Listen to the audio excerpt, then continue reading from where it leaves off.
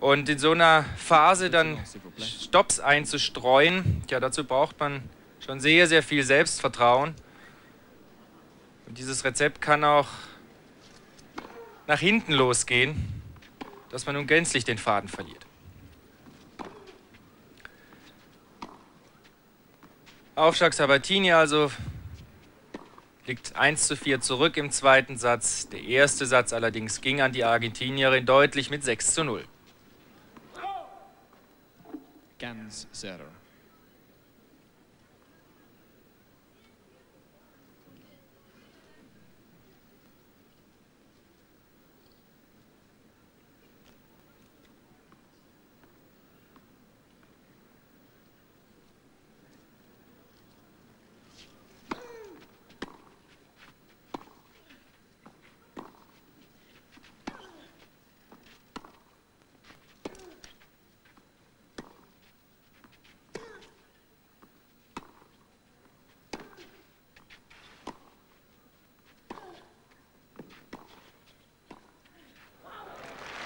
Jawohl, das ist einer von den Bällen, die Selbstvertrauen bringen. Volley Stop. 30-0.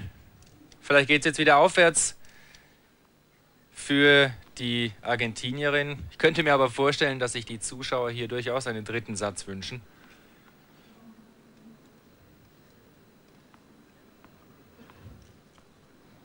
Und vielleicht sogar auf eine Überraschung hoffen.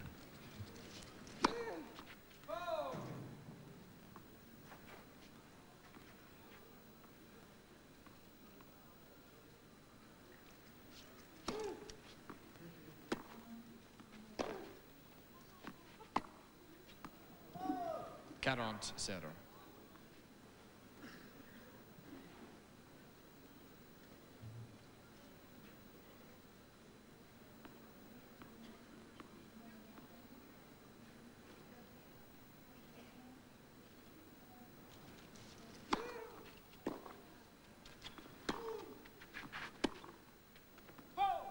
Sure, Mademoiselle Sabatini. Gabriela Sabatini gewinnt in diesem zweiten Satz ihr erstes Aufschlagspiel, verkürzt auf 2 zu 4. Im Übrigen endlich mal wieder ein Aufschlagspiel zu 0 gewonnen.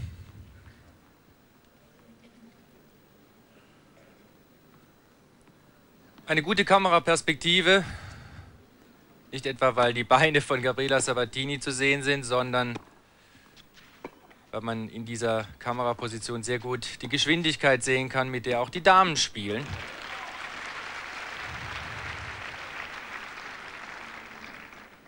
Ganz sehr.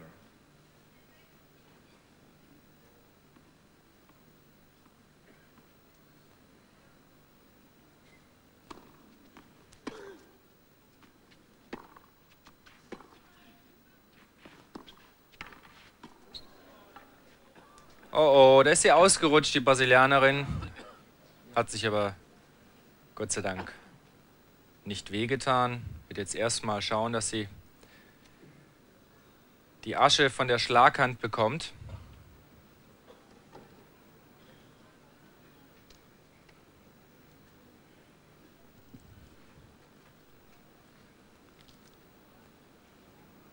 Diese Zeit im Übrigen, um sich zu pflegen, darf man nutzen.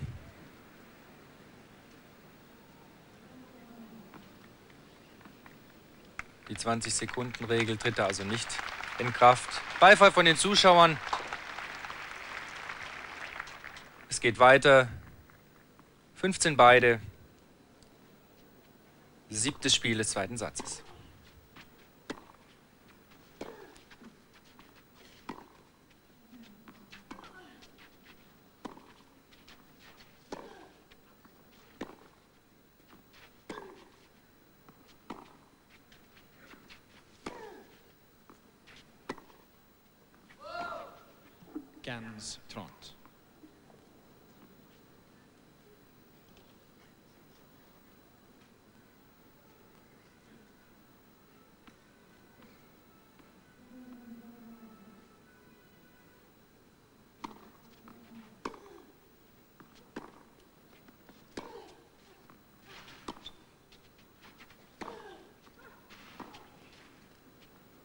Der geht aus.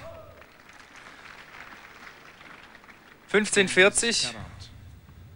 Zwei Breakbälle für Gabriela Sabatini. Und wenn sie dieses Break schaffen sollte, dann heißt es Break-Even, ausgeglichen, was die Breaks angeht. Da ist es. Spiel Sabatini steht nunmehr 3 zu 4. Und Gabriela Sabatini hat nach diesem Seitenwechsel nur die Möglichkeit, zum 4 zu 4 auszugleichen.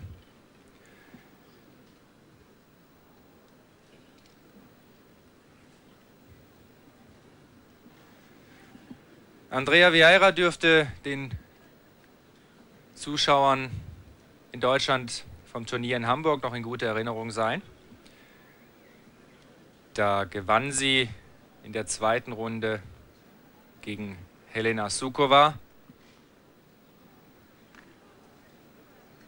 Schied allerdings dann eine Runde später, also in der dritten Runde, gegen Radka Jobakova aus. Sie begann als Fünfjährige mit dem Tennisspiel.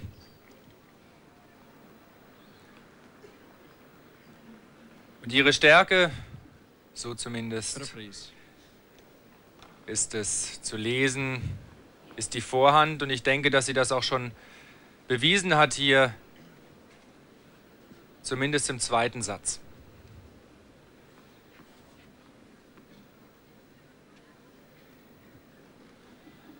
Un petit lance, s'il vous plaît. 3 zu 4 also, Aufschlag Gabriela Sabatini. Ich wiederhole es nochmal. Der erste Satz ging an die Argentinierin mit 6 zu 0.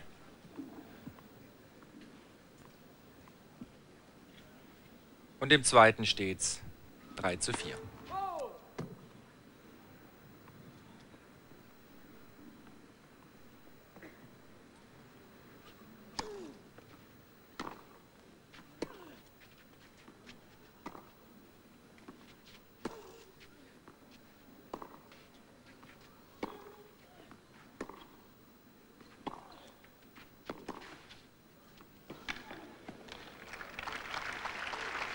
Ja, dazu sagen die Franzosen Contre-Pied auf dem falschen Fuß erwischt oder gegen die Laufrichtung gespielt. 0,15.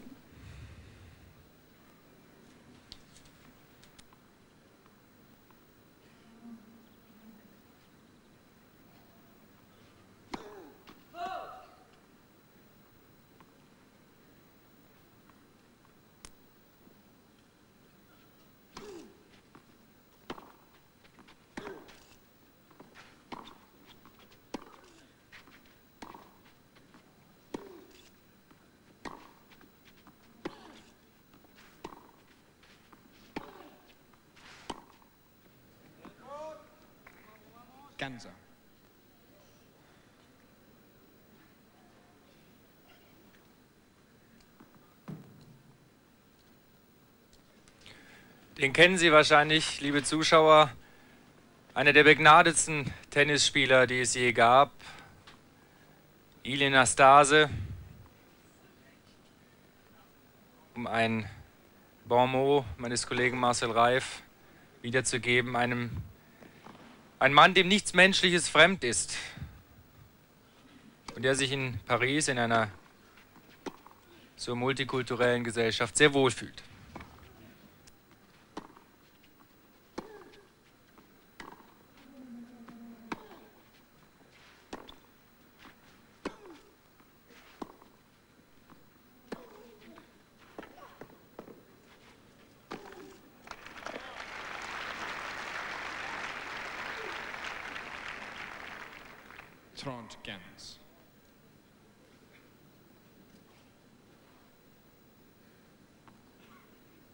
Die Zeitlupe gut und lang angegriffen von Gabriela Sabatini. Der Abschluss über Kopf Formsache. 30-15.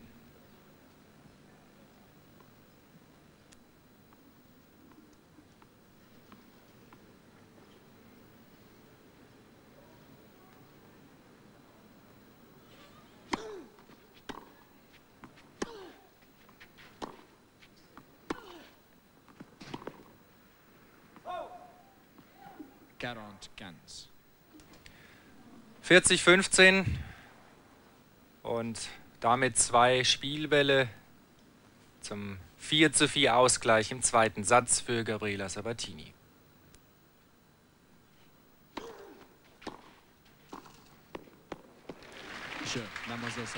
Serve and Volley direkt nach einem guten Aufschlag ans Netz vorgerückt. Damit 4 zu 4. Gabriela Sabatini schafft vier Spiele in Folge. Gerade so noch zum richtigen Zeitpunkt. Und sicherlich auch so beeindruckend, dass es jetzt schwierig werden wird für Andrea Vieira, die jetzt aufschlägt, ihr Spiel durchzudrücken. Zero counts.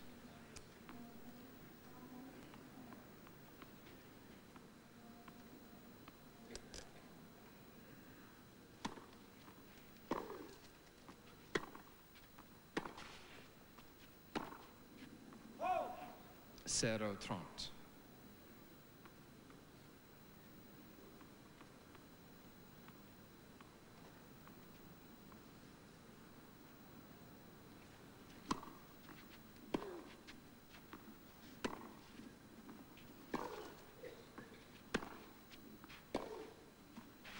Gans 30.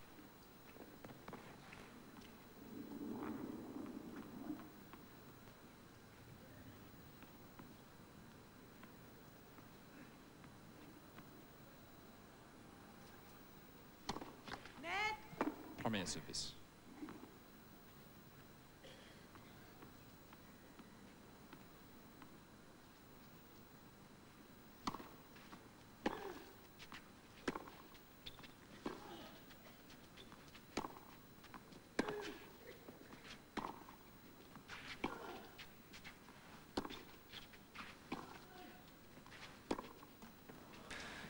Gans 40 ist eben immer wieder ein adäquates Mittel, um Beitender zu Fehlern zu zwingen, wenn man die Rückhand oder die Vorhand, wie auch immer, unterschnitten, also mit Rückwärtsdrall, auf die Rückhand eines Beithänders spielt.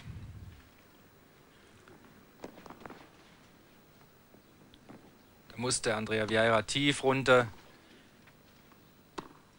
Und da wird es dann eben schwierig, Topspin zu spielen oder aber gerade. Zwei Breakbälle für Gabriela Sabatini. Die sich auch das fünfte Spiel hintereinander sichert. Und jetzt 5 zu 4 in Führung geht.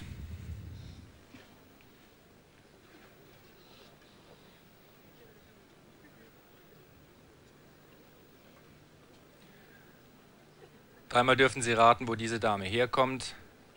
Lesen Sie, was auf dem Ohrring steht.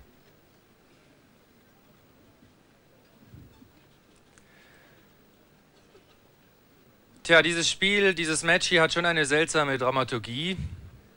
Zunächst sah alles nach einem glatten Zweisatzsieg aus. Nachdem der erste Satz schon 6 zu 0 an Gabriela Sabatini gegangen ist, dann eine 4 zu 0 Führung für die Brasilianerin.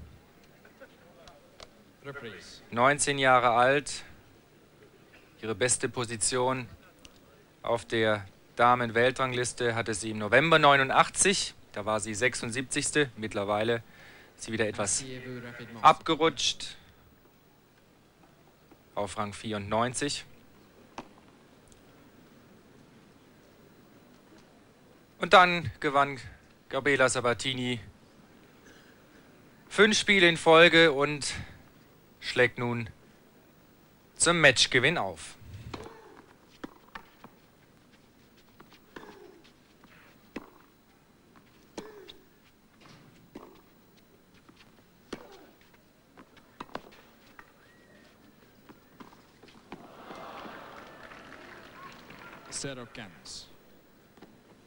Zu unentschlossen war da Gabriela Sabatini.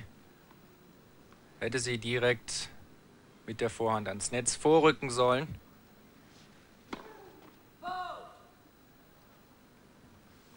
Null fünfzehn.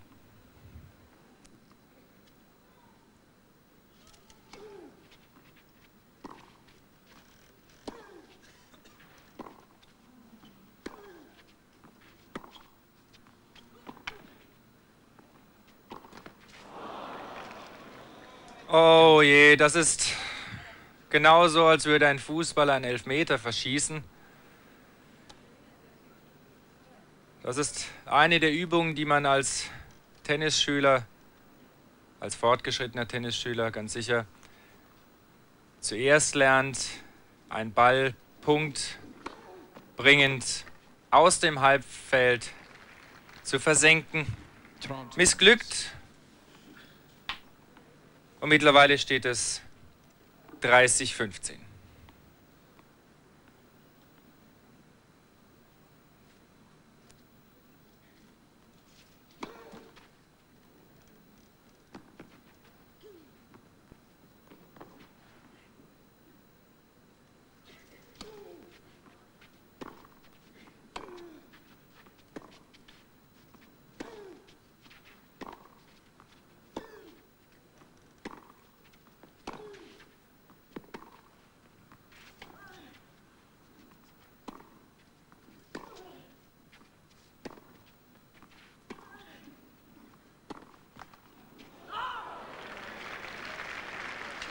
Haha, Pech für Gabriela Sabatini. Das zweite Mal ein Netzroller zu Ungunsten der Argentinierin. 30 beide.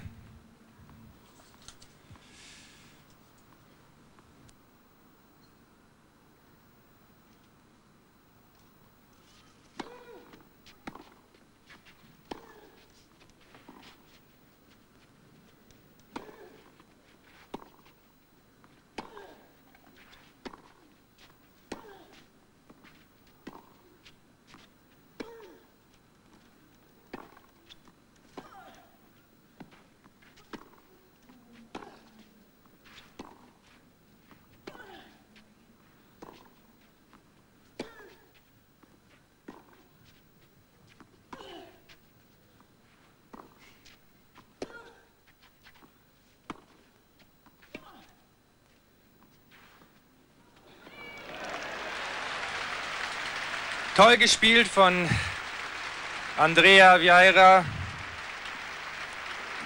Er arbeitete sich damit einen Breakball. Aber ich werde das Gefühl nicht los, dass Gabriela Sabatini nicht im Vollbesitz ihrer körperlichen Kräfte ist. Das sah schon sehr nach Schwäche aus, denn dieser Stopball oder dieser unterschnittene Ball kam doch sehr lang und sie lief gar nicht mehr durch.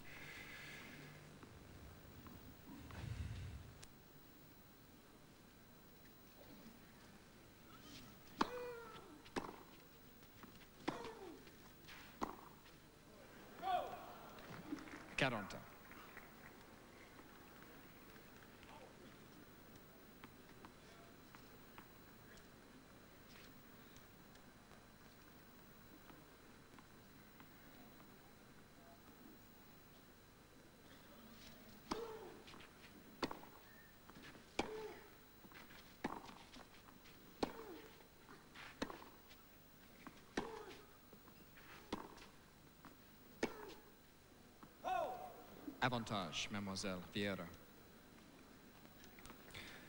Zweiter Breakball für die Brasilianerin. Nach einem zu langen Rückhand von Gabriela Sabatini.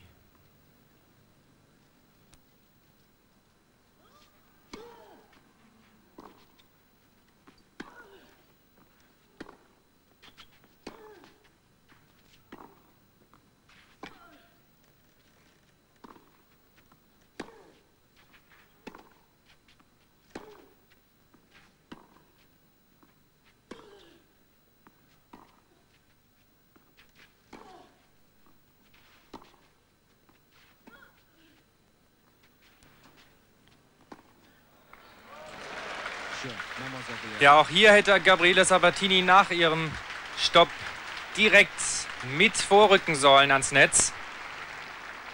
Denn zweifelsohne war Andrea Vieira in der schlechteren Position. Somit alles wieder offen, fünf beide. Hier nochmal die Zeitlupe. Da steht Gabriela Sabatini im Niemandsland bei diesem Halbflugball direkt nach dem Aufspringen genommen. Aufschlag. Vieira, zweiter Satz, 5 beide, erster Satz 6 zu 0 an Gabriela Sabatini.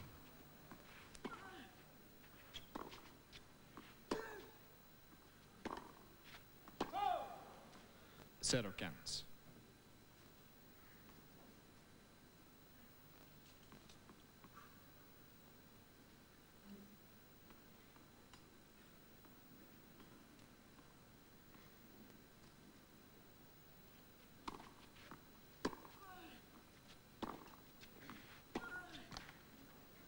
Ganza.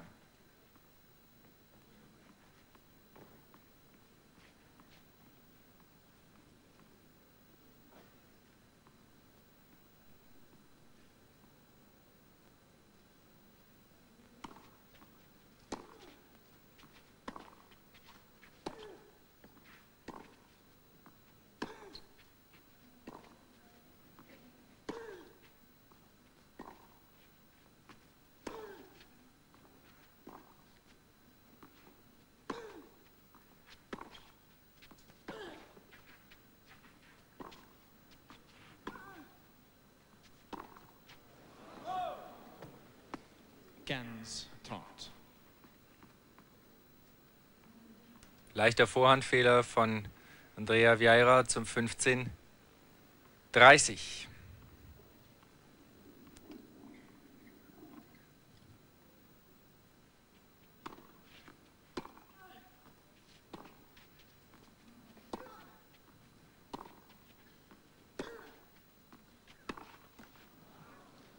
Gans Karot. Das ist schon ein verrücktes Spiel hier. Nur wiederum zwei Breakbälle für Gabriela Sabatini. Mittlerweile haben beide Spielerinnen dreimal ihren Aufschlag verloren.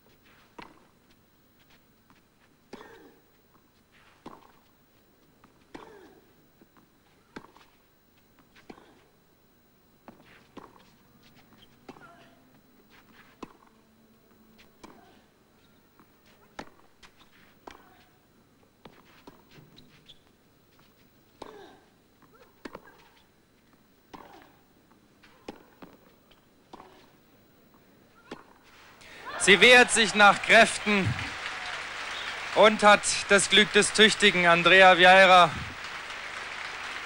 Dieser Wechsel hat Kraft gekostet, aber er freut die Zuschauer. Das war sicherlich einer der besten Ballwechsel im ganzen Verlauf. Da sah eigentlich Gabriela Sabatini schon aus wie die Siegerin. Und dann punktet Andrea Vieira direkt. Aber immer noch ein Breakball für Gabriela Sabatini.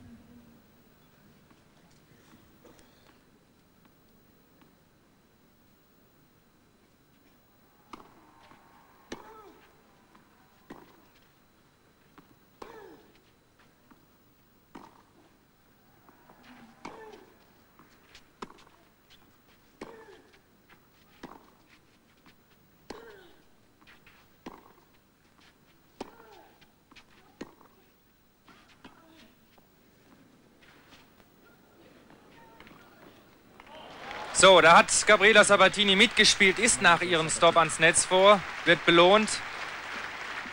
Break Nummer 7 in diesem Satz. Mademoiselle Sabatini mène par 6 jeux à 5. 6 zu 5 für Gabriela Sabatini.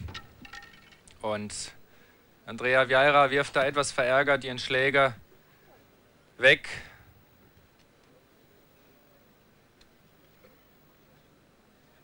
Hier nochmal die Zeitlupe.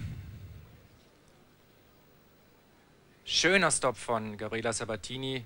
Im Ansatz nicht zu erkennen. Und jetzt geht sie etwas mit und drückt den Ball dann in die Vorhandecke der Brasilianerin unerreichbar.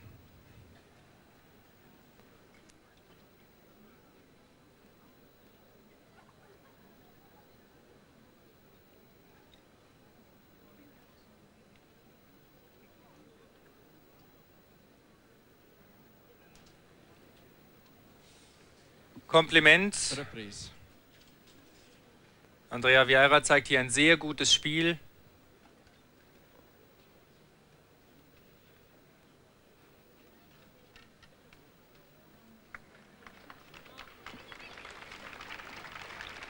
Muss ich aber jetzt dem Service von Gabriela Sabatini gegenüber sehen und das bedeutet für die Argentinierin erneut Serving for the Match. Aufschlag zum Matchgewinn. Ganz zero. Fängt gut an mit einem Ass für Gabriela Sabatini. Das erste 15-0.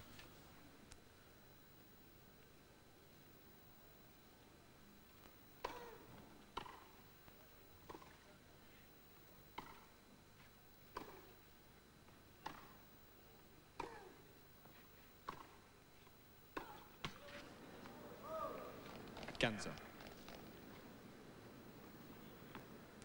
Ja, Das Netz ist heute nicht auf ihrer Seite. Netzroller ins Aus. Aber ich denke mal, dass diese Vorhand auf jeden Fall ins Aus gerutscht wäre. 15 beide. Ganz. Ah, das sind diese Bälle, wo alle mitzittern und ihn am liebsten drüber pusten würden, diesen Ball. Blieb an der Netzkante hängen. 15:30.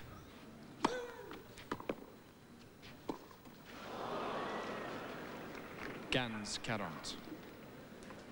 Ja, sowas rächt sich. Sie geht wieder nicht durch. Die Argentinierin blieb an der T-Linie stehen, anstatt sich richtig zum Ball zu stellen. 15, 40. Zwei Breakbälle für Andrea Vieira.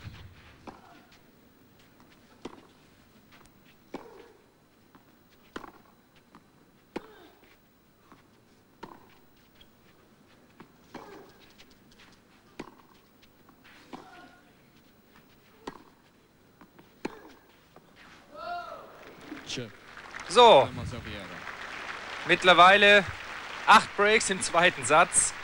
Sechs beide. Der Tiebreak wird diesen Satz entscheiden. Ja, das ist so ganz nach dem Geschmack der Zuschauer.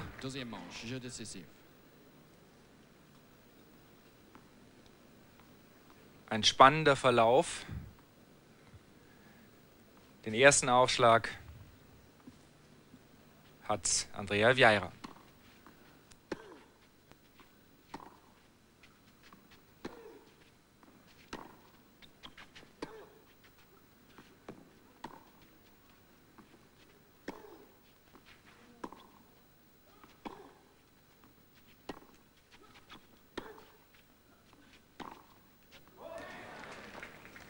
Ein kleines Break für Gabriela Sabatini. Für alle diejenigen, die es nicht wissen, wie der Tiebreak gezählt wird, es wird numerisch gezählt, wie beim Tischtennis. Wer zuerst sieben Punkte erreicht hat, mit zwei Punkten Unterschied, der hat dann den Satz auch 7 zu 6 gewonnen. Nun hat Gabriela Sabatini zwei Aufschläge.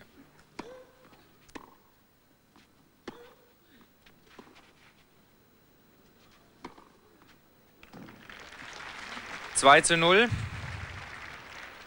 2-0. Mademoiselle Sabatini.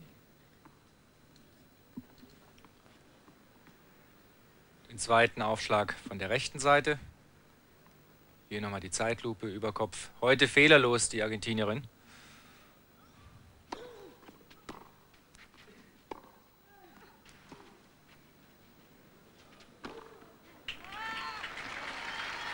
Drei zu 0. Also ich bin mal vorsichtig mit Prognosen, liebe Zuschauer. Das ziemt sich normalerweise nicht, aber ich stelle